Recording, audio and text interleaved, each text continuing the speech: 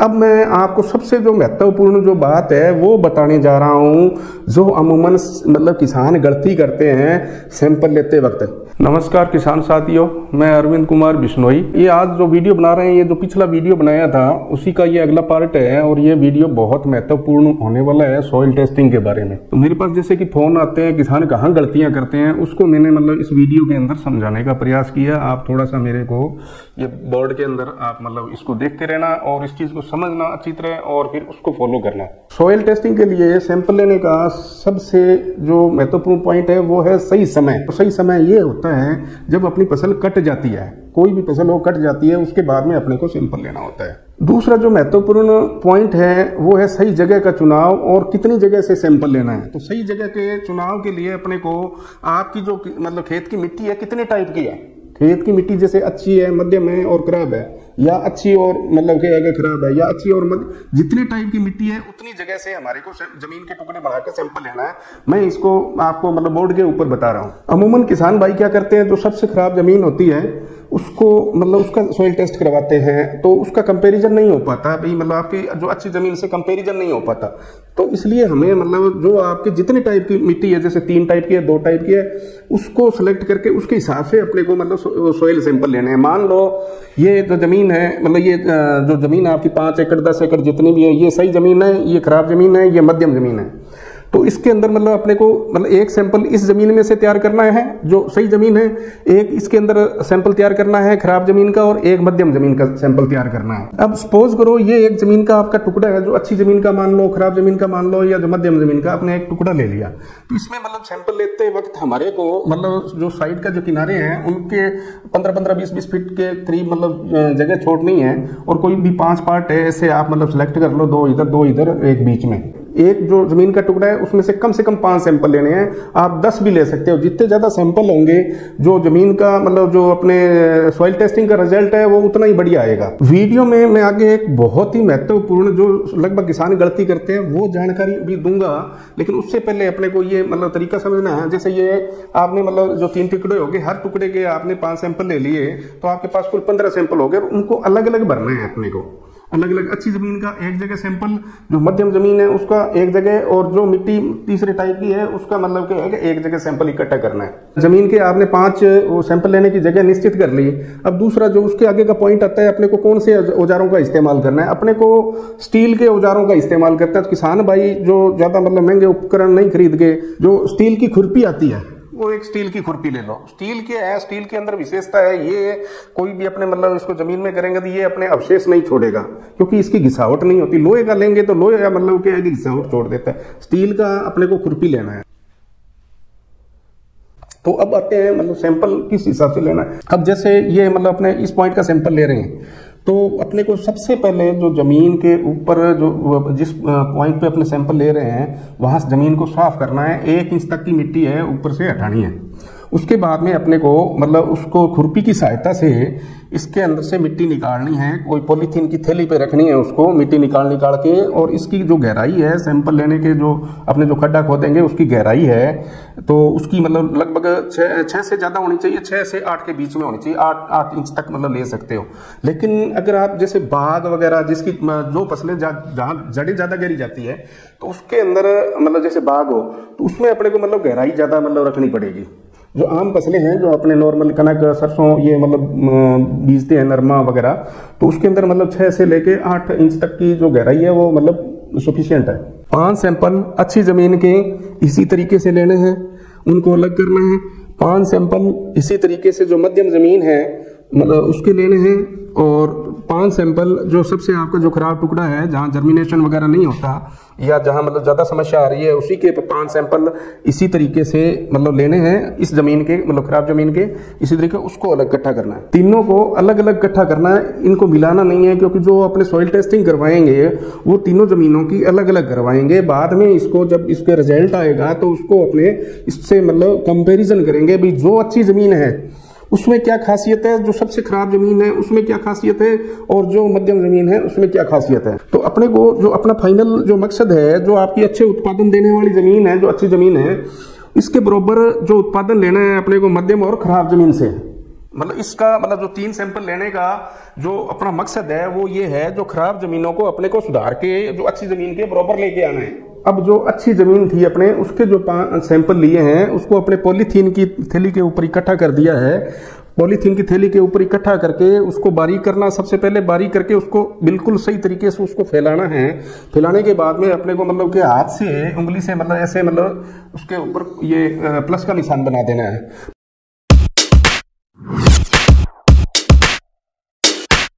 Plus का निशान बनाने के बाद में अपने को ये जो आमने सामने के चाहे ये हो ये हो या ये ये और ये ये टुकड़े हैं जो अपने मतलब इसकी मिट्टियाँ निकाल के साइड में रख देनी है, सिर्फ़ ये दो टुकड़े रखने हैं। प्रोसीजर को अपने दो, तीन बार रिपीट करना है ताकि जो फाइनल जो अपने पास सैंपल बचे, उसमें लगभग आधा किलो मिट्टी हो। और ऐसे निशान लगाए और दो साइड के टुकड़े वो मतलब की मिट्टी है वो निकाल के साइड में कर दी और जो बचा हुआ है, वो अपने मतलब सैंपल रख लिया। फिर उसको समतल किया और फिर मतलब क्या है कि ये क्रॉस का निशान बनाया और आमने सामने के मतलब जो टुकड़े है जो, आमने सामने की जो मिट्टी है, उसको अलग किया और रख लिया। तो आपके पास जो अच्छी ज़मीन का है आधा किलो का सैंपल रह जाएगा। सबसे पहले क्या है, इसके अंदर अपने को किसान का नाम, उसका पूरा पता, और जो आपने जिस खसरे से, कई लोग खसरा बोलते हैं, कई किला बोलते हैं, जिस ज़मीन में उसको ज़मीन से रिलेट करने के लिए अपने को उसका मतलब जो किला नंबर वगैरह लिखना है, और साथ में ये लिखना है, भाई ये अच्छी ज़मीन है अपनी, वो भी मतलब उसके ऊपर लिखना है। तो इसकी और एक जो सैंपल लेने की तारीख ये मतलब चार पाँच चीज़ें ताकि आपके पास जब रिपोर्ट आए, उसको आप मतलब तो पढ़ो तो भविष्य के लिए भी आपके पास एक रिकॉर्ड हो जाए, भी इतनी तारीख को हमने करवाई थी इस किले की तो ये आपके पास मतलब ये एक सिस्टम हो गया, एक सैंपल हो गया, इसी तरीके से जो आपकी सबसे खराब ज़मीन है, वो सेम प्रोसीजर जो पीछे मतलब आपने किया है, वो इसी के लिए करना है, और जो मध्यम ज़मीन है, इसी के लिए करना है। अब अपने पास जो फाइनल है ना फाइनल अपने पास तीन सैंपल हो गए। आधा आधा किलो के तीन सैंपल हो गए। एक अच्छी ज़मीन का एक जो खराब ज़मीन है उसका और एक जो ज़मीन है, जो मध्यम ज़मीन है उसका। और तीनों को अच्छी तरह अपने मतलब उसकी टैगिंग करके नाम जो मैंने बताया है, किसान का नाम, किसान का स्थान और सैंपल लेने की तारीख, ज़मीन का जो खसरा नंबर और उसके अंदर मार्किंग भी करनी है, ये हमारे अच्छी ज़मीन का सैंपल है। ये मतलब जो खराब ज़मीन का सैंपल है और ये जो है मध्यम ज़मीन का सैंपल है ताकि आपको ध्यान रहे। अब सैंपल आपने इकट्ठे कर लिया मार्किंग कर दी। उसके बाद में आपको इस इन सैंपलों को किसी लेब में ले जाके मतलब चेक करवाना है चेक करवाना है। अब मैं आपको सबसे जो महत्वपूर्ण जो बात है, वो बताने जा रहा हूँ, जो अमूमन मतलब किसान गलती करते हैं सैंपल लेते वक्त। वो उस चीज़ का ध्यान नहीं रखते, इस वजह से उनके जो सैंपल की जो रिपोर्ट है, वो बहुत ही खराब आती है। सैंपल की रिपोर्ट सही नहीं आ पाती, और अपने को जो मिसलीडिंग जो रिज़ल्ट है, वो मिलते हैं। वो बात मैं आपको यहाँ मतलब ब्लैक बोर्ड में मतलब समझा रहा हूँ। जो सबसे महत्वपूर्ण बात ये है, जब अपने किसी फ़सल की जो पीछे जो फ़सल बीजी है, उसकी बिजाई करते हैं तो उसके अंदर अपने साथ में अमूमन हर किसान खाद वगैरह देता है, रासायनिक खाद जैसे डीएपी दे दी, जैसे पोटास दे दी सल्फ़र दे दी। तो वो क्या है, अपने जो आजकल जो डबल टापे की मशीन है, उसके अंदर मतलब ड्रिल करते हैं साथ में। कुछ किसान क्या करते हैं, जैसे नरमे की फ़सल के अंदर बाद में डीएपी वगैरह बीजते हैं। तो जो जैसे ये है आपकी लाइनें मतलब जिसको खूड बोलते हैं, ये लाइनें हैं। तो अगर आप इधर से सैंपल लोगे, मान लो, ये मतलब कि ये फ़सल है और ये लाइन है। अगर आपने सैंपल मान लो इधर से लिया तो जो पीछे की जो मतलब जो फ़सल है, उसमें जो खाद डाली हुई है, उसकी मात्रा क्या है कि इधर मतलब ज़्यादा होगी सारी खाद, सारी जो रासायनिक खाद है, कभी भी काम नहीं आती। यहाँ मतलब आपने इधर सैंपल ले लिया, इधर सैंपल ले लिया, इधर सैंपल ले लिया, इधर सैंपल ले लिया। इधर सैंपल लेने से क्या है कि जो पीछे की जो खाद की मात्रा है, वो आ जाएगी। तो अपनी ज़मीन में उतने डीएपी वगैरह या पोटास फास्फोरस नाइट्रोजन है नहीं। लेकिन जो पीछे का जो मतलब बचता है मतलब पिछली फ़सल में जो दिया हुआ है, वहाँ इन पॉइंटों पे मतलब वहाँ उसकी जो डेंसिटी होती है, वो बहुत ज़्यादा होती है। तो अपने सैंपल अगर मतलब गलती से इन जगह से ले लिए तो अपने को मतलब जो रिज़ल्ट है, वो गलत आएँगे। अपने को उसके लिए क्या है, ये जगह छोड़ के सैंपल है, वो मतलब यहाँ से लेने हैं, जो आपकी कतार है पौधों की, उसके अंदर से नहीं लेने हैं। अपने को बीच में से लेने हैं। एक तरीका और है। जब आपकी ज़मीन खाली हो जाए सबसे बेस्ट जो मैं तरीका मानता हूँ, जब आपकी ज़मीन खाली हो जाए तो आप उसके अंदर तवी वगैरह मार के उसको प्लान करके स्वागा लगा लो स्वागा लगाने से क्या सब कुछ मिक्स हो जाता है? मिक्स होने के बाद में आप मतलब ये है कि उसके कहीं से भी मतलब सैंपल ले सकते हो। सबसे मतलब मुझे ये तरीका जो मतलब आया अमूमन किसान गलती कर देते हैं। अपने जो रिपोर्ट के अंदर आता है, अभी इसके अंदर मतलब फास्फोरस है मतलब साठ, और ज़मीन में होती है तीस। क्योंकि वो जो फास्फोरस जो ज़्यादा आ रही है, जो पिछले फ़सल के अंदर आपने डाला था, वो फास्फोरस ज़्यादा आ रही है। वो सिर्फ़ एक लाइन के अंदर ही ज़्यादा है, दूसरी ज़मीन के अंदर है नहीं। पौधा सब जगह से लेता है। पौधे की जो जड़ें फैलती है नीचे, वो सब जगह से लेता है।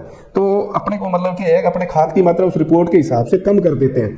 कम करने से क्या है अपना उत्पादन मतलब वो नहीं आ पाता। जो पौधे की ज़रूरत जब पूरी नहीं होगी तो उत्पादन नहीं आएगा। पौधे की ज़रूरत को पूरे करने के लिए सही मात्रा में खाद का देना ज़रूरी है और खाद को सही मात्रा में जो अपने देंगे खाद है या जो माइक्रोन्यूट्रिएंट्स देते हैं, पोषक तत्व तो देते हैं, उनको सही मात्रा में देना ज़रूरी है। अगर सही मात्रा में नहीं दिया, किसी भी चीज़ की कमी रह गई तो आपकी क्या है वो फ़सल पे मतलब बहुत विपरीत प्रभाव डालेगा, आपका उत्पादन निश्चित रूप से उत्पादन और क्वालिटी दोनों गिरेगा। तो ये मतलब आपने ध्यान रखना है भाई, अगर आप मतलब बगैर जो ज़मीन की बुआई की सैंपल ले रहे हो तो आपको मतलब लाइन वाली जगह छोड़नी है। जो जो कतार है, जिसमें आपने नरमा बो रखा है, जिसमें सरसों बो रखी है, जिसमें आपने जैसे गेहूँ बो रखा है तो उसके बीज की जगह का लेना है। मतलब इस चीज़ को आप सैंपल लेने जाओ तो देखो कि हमने खाद कहाँ डाली है, उसके मतलब आजू बाजू लेना है। मतलब मेरे कहने का मतलब उसके आजू बाजू मतलब क्या लेना है। जब छींटे से अपने खाद देते हैं तो वो तो सब जगह मतलब क्या समान मात्रा में होती है। जब लेकिन मशीन से बुआई करते हैं ना, वो खाद क्या है कि सिर्फ़ एक लाइन के अंदर, जो फ़सल की लाइन के अंदर चलती है। अपने को उस लाइन को अवॉइड करना है। वरना आप क्या है कि उसको मतलब ज़मीन को कल्टीवेट कर लो तवी वगैरह मार दो उसके बाद में दो तवी मार के स्वागत लगा दो सारी ज़मीन के अंदर वो सब मात्रा है वो हो जाएगी उसके बाद में आप सैंपल ले लो। यही तरीका है आपको इन चीज़ों का सावधान मतलब रखना चाहिए। जब अपने पास आ, किसी लैब में उसकी जो रिपोर्टें अपने भेजते हैं रिपोर्टें जब अपने पास रिपोर्टिंग के लिए सैंपल भेजते हैं सैंपल आने के बाद सैंपल की रिपोर्ट सैंपल को भेज दिया रिपोर्ट के लिए लेब के अंदर लेब से अपने पास रिपोर्ट आ गई। रिपोर्ट आ गई आपकी जो आपको पता लग गया भाई ये तीन जो रिपोर्ट है, अच्छी ज़मीन की एक रिपोर्ट है, मध्यम की एक है और खराब ज़मीन की एक है। तो आपको ये पता लग गया, भाई ये मेरी अच्छी ज़मीन की रिपोर्ट है। उनको आप बैठ के कंपेयर करो। भी जो खराब ज़मीन है, उसमें क्या कमी है और अच्छी ज़मीन में क्या खासियत है? तो उसके हिसाब से खाद की मात्रा है पीएच का संतुलन करना है आपको, उसके अंदर ईसी है, ज़्यादा मतलब जो घुलनशील जो साल्ट होते हैं, वो ज़्यादा है। तो उसको अच्छी से मतलब जो ज़मीन से उसको रिलेट करके अपने उसके अनुरूप चलेंगे तो अपनी ज़मीन का जो सारा का सारा टुकड़ा है, वो एक जैसा हो जाएगा और सबका मतलब उत्पादन मतलब अपने को बहुत बढ़िया मिलने लग जाएगा। अब बात करते हैं किसान को, कितने समय बाद में मतलब ज़मीन के मिट्टी के सैंपल लेने चाहिए? तो ज़मीन जहाँ आपके नॉर्मल उत्पादन आ रहा है, जो आपके एरिया में आ रहा है, आपकी ज़मीन मतलब ठीक है मतलब कुल मिला के ठीक है तो आप उसको हर दो साल में मतलब चेक करवा लीजिए। समस्या वाली जमीनें हैं, जहाँ पी ज़्यादा है ईसी ज़्यादा है, या कुछ और मतलब समस्या है तो वहाँ आपको मतलब हर छह महीने के अंदर शुरू शुरू के अंदर, वो एक बार तो आपने मतलब जो तीनों टुकड़ों का करवा लिया कंपेरिजन हो गया। उसके बाद में जब आप सैंपल लोगे तो अच्छी ज़मीन का चयन मत करवाना। आप फिर मतलब खराब और मध्यम का करवाना छह महीने बाद में करवाना। साल में ताकि जो अपने ट्रीटमेंट किया है चाहे पीएच के लिए किया है इसी के लिए किया है तो उसका रिज़ल्ट तो अपने को जब लेब मतलब बताएगी तभी तो अपने समझेंगे इस चीज़ को भी मतलब कि हमारी जो चीज़ है वो काम कर रही है। बगैर मतलब लेबोरेटरी के अपने फ़सल अच्छी हो गई जी ज़मीन सुधर गई उन चीज़ों पे नहीं जाके अपने को जो लैब है सही तरीके से वो रिज़ल्ट देती है उस पर फोकस करना है। ताकि आपकी जो सारा ज़मीन का टुकड़ा है, वो एक जैसा हो जाए। तो ये आज का अपना ये वीडियो यहाँ कंप्लीट होता है। आपके कोई सवाल हो तो वीडियो का जो कमेंट सेक्शन है, वीडियो जब आप देखोगे तो उसके कमेंट सेक्शन में आप सवाल कर देना, मैं जवाब दे दूँगा। और मेरे चैनल का नाम है अरविंद कुमार बिश्नोई। और आपको लगे ये वीडियो मेरे दूसरे किसान भाइयों के लिए महत्वपूर्ण है, उनके साथ मतलब शेयर करें। आपको बिल्कुल आप संतुष्ट हो जाते हैं भी आपको अच्छी जानकारी मिल रही है तो जो मेरे यूट्यूब चैनल अरविंद कुमार बिश्नोई को सब्सक्राइब भी करें।